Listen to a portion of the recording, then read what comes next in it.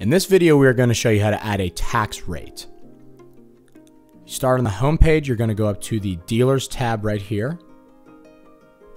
Next thing you're going to do is you're going to go to custom fields. Then you're going to click the add button. There's going to be a drop down menu that comes down for custom field. Now for a tax rate, you are going to go down to the first drop down menu here and you're going to click tax. Next thing you do is you're going to come up to the top bar here where it says description and you're going to type in a description for the order, either tax rate, custom tax, or whatever you would like to call it. Once you have added your description, you're going to then go down and click create. Once you click create, it is going to be below custom fields and you will see a new field right here.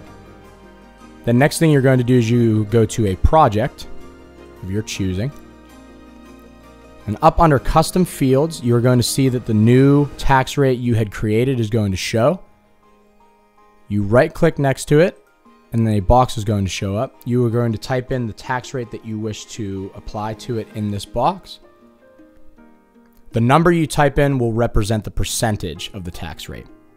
Then if you click enter, the tax rate will then apply to the order down here.